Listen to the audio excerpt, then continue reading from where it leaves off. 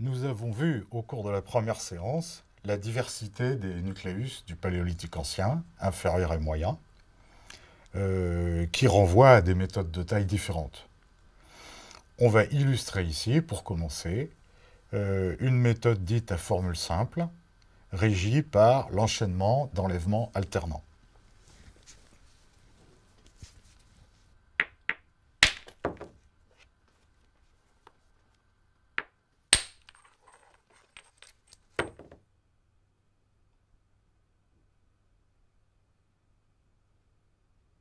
C'est une méthode très simple, puisque on se contente de retourner le bloc, le nucléus, et de frapper sur le bord du contre-bulbe, le bord du négatif de l'éclat précédent. On peut ainsi enchaîner.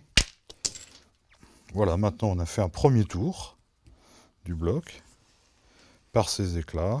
1, 2, 3. On continue ici.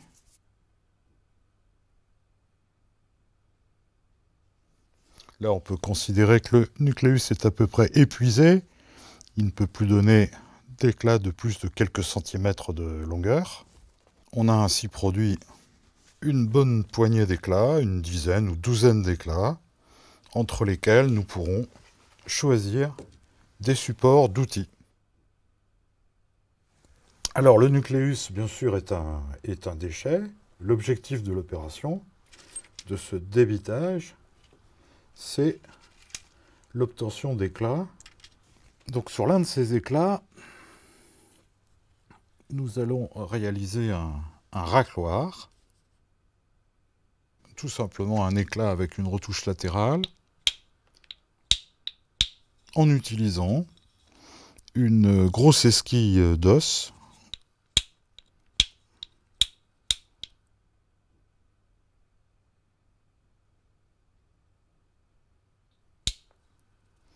Cette retouche réalise l'enlèvement de petites écailles qui produisent une micro-denticulation du bord qui modifie un petit peu son équité. Permet de régulariser la délinéation, la silhouette du tranchant. Voilà, donc on a ici un bord donc d'éclat retouché en racloir. Ces racloirs ont pu servir à différentes fonctions comme on a pu le montrer grâce à des, études tracéologiques. Euh, fonctions comme couper, tout d'abord, mais aussi euh, racler du bois, racler des matières ligneuses, euh, racler de la peau, pour, la, conserver en cuir, par exemple. C'est l'outil vraiment le plus, certainement l'outil à faire beaucoup de choses au cours du paléolithique moyen.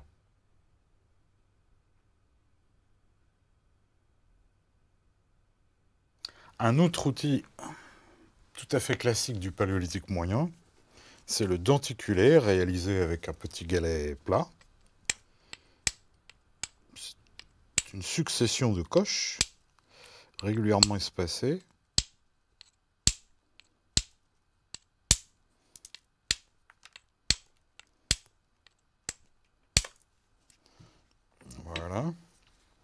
Qui dégage une série de dents avec en fait une partie de tranchant très aiguë entre chaque dent. Cet outil est donc très efficace pour non seulement racler par exemple des fibres ou de la peau fraîche, mais également pour couper, tout simplement. Par cette formule d'enchaînement euh, d'éclats alternants, nous avons abouti, sans faire exprès, à un nucléus de forme discoïde, bipyramidal, avec une périphérie euh, très sinueuse. Mais il, existe euh, d'autres formules. Par exemple, sur un grand fragment à face plate, on peut enchaîner des enlèvements adjacents, parallèles entre eux. Au bout d'un moment, on va faire le tour, et à la fin, il va rester un, un petit nucléus euh, conique, mais là aussi dont la forme n'a pas été recherchée, simplement répondant à la formule d'enchaînement des, enlèvements. Sur des gros fragments prismatiques, on peut enchaîner des enlèvements orthogonaux dans les différents plans de l'espace, en s'appuyant sur le contre-bulbe de l'éclat précédent, et à ce moment-là, on obtient un nucléus qu'on pourrait appeler euh, polyédrique. Et en fait, derrière ça, il y a une formule euh, d'enchaînement d'enlèvements orthogonaux.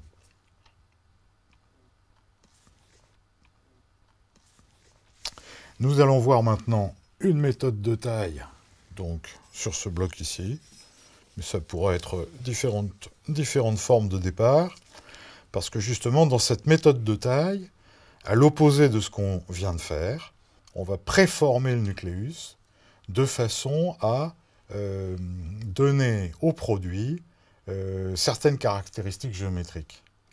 Et en l'occurrence ici, ça va être la minceur avec un développement important euh, du bord tranchant. Mais on va voir ça.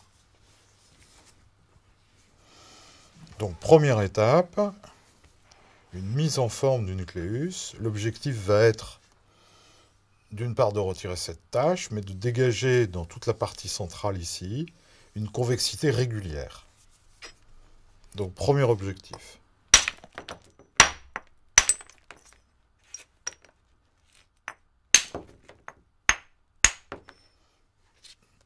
Là, on est dans, un, dans une phase plutôt de dégrossissage, où on enlève des parties trop minces,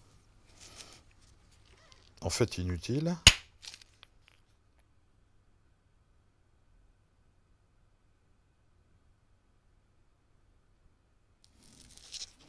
Et on commence à faire apparaître une certaine convexité sur la face supérieure.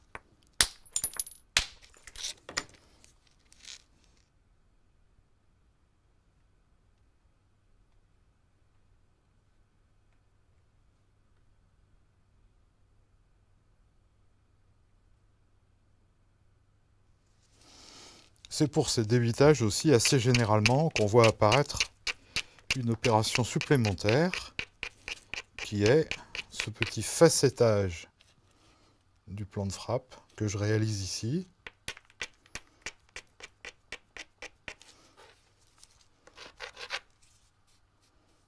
Ici, on a facetté pour optimiser, pour mieux ajuster l'angle entre plan de frappe et surface de débitage.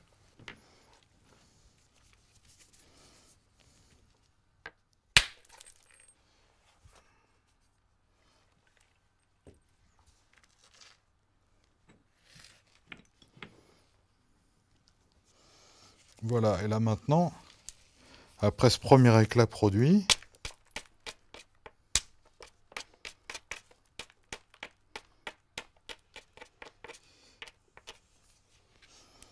on va optimiser la surface de débitage pour un deuxième éclat que je voudrais triangulaire ici. Mais là, on voit que ça dépasse. Si donc j'enlève un petit éclat ici, je vais optimiser le bord, la délinéation, hein, la silhouette de cet éclat à sortir. Donc là, je fais un petit éclat, voilà. Je fais un petit éclat ici, qui fait que le bord va pouvoir suivre la ligne ici pour cet éclat triangulaire. Même chose ici, il faudrait retirer ça pour éviter que la fracture soit attirée ici par le relief.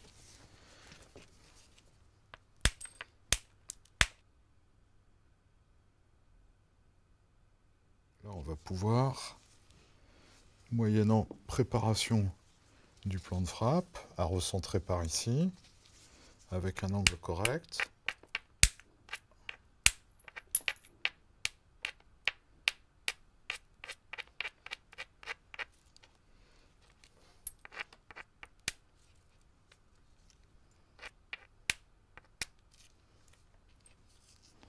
je vous montre cette opération de facettage. Encore à perfectionner un petit peu.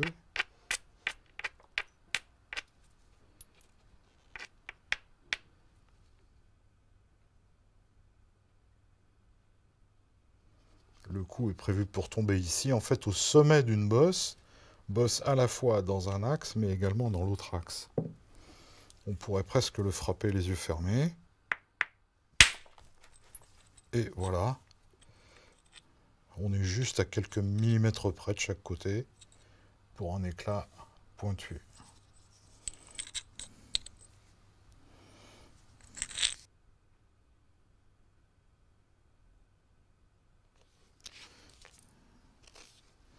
Voilà, on pourrait tenter à nouveau. Ici, on a une, une belle convexité.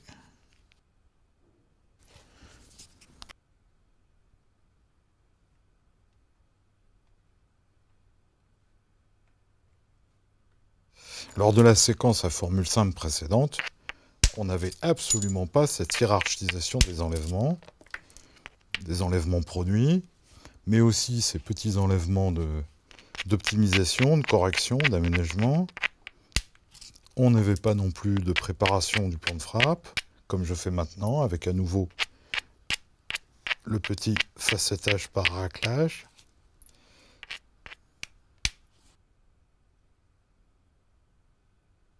On voit aussi que ces débitages engagent au moins deux outils différents, un percuteur et un, préparateur abraseur.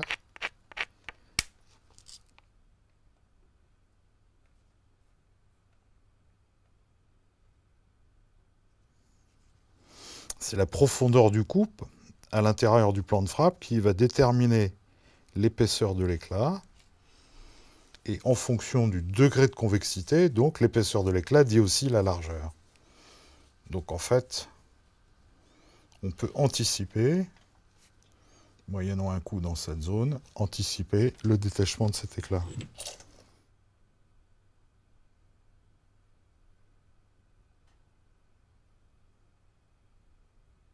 Je pense que l'illustration est assez claire. C'est cet agencement d'éclat qui se recouvre partiellement selon une convexité contrôlée qui leur permet d'être assez minces, avec beaucoup de bords tranchants, pratiquement périphériques. Bon là on peut faire un super racloir après l'avoir utilisé comme couteau à l'état brut. Donc c'est ce mode d'agencement particulier, hein, sans tripette, et avec ces réaménagements successifs du nucléus, optimisation par la préparation des plans de frappe, qui permet de faire une demi-douzaine d'assez grands éclats. Ces méthodes à prédétermination, qui apparaissent euh, assez tôt au cours du paléolithique moyen ancien, si ce n'est pas peut-être même paléolithique inférieur, euh, montrent, euh, révèlent une intelligence des techniques déjà modernes, impressionnante à mes yeux, puisqu'elle suit une planification par état, par objectif, et pas juste une planification d'enchaînement d'un geste standard, euh, comme sur la méthode précédente.